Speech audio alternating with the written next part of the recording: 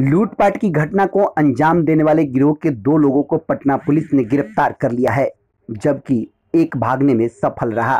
पूरा मामला पटना सिटी के आलमगंज थाना क्षेत्र के सादिकपुर का है, जहाँ हथियारबंद अपराधी लूट की योजना बना रहे थे, जिसकी गुप्त सूचना पटना पुलिस को मिली और अपराधियों के मंसूबे पर पानी फेर दिया और छापेमारी कर दो लोगों को एक पिस्टल और एक ज़िंदा कारतूस के साथ गिरफ़्तार कर लिया है। जबकि एक अपराधी भागने में सफल रहा, जिसे पकड़ने के लिए पटना पुलिस छापेमारी कर रही है। बताया जाता है कि रात के अंधेरे में अपराधी हथियारबंद होकर आने जाने वालों को अपना शिकार बनाकर लूट की घटना को अंजाम देते थे।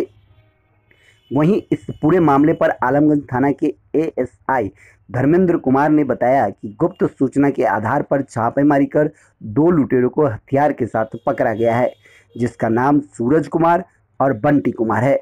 वहीं एक युवक मौका पाकर फरार हो गया, जिसका नाम रघु कुमार।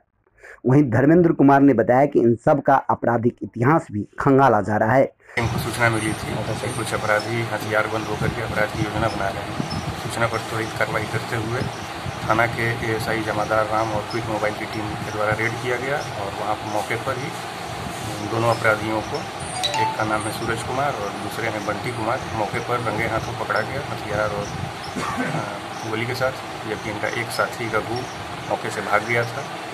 उसकी गिरफ्तारी के लिए भी हम रक्षा छापेमारी कर रहे हैं। Bureau report S news, Patna.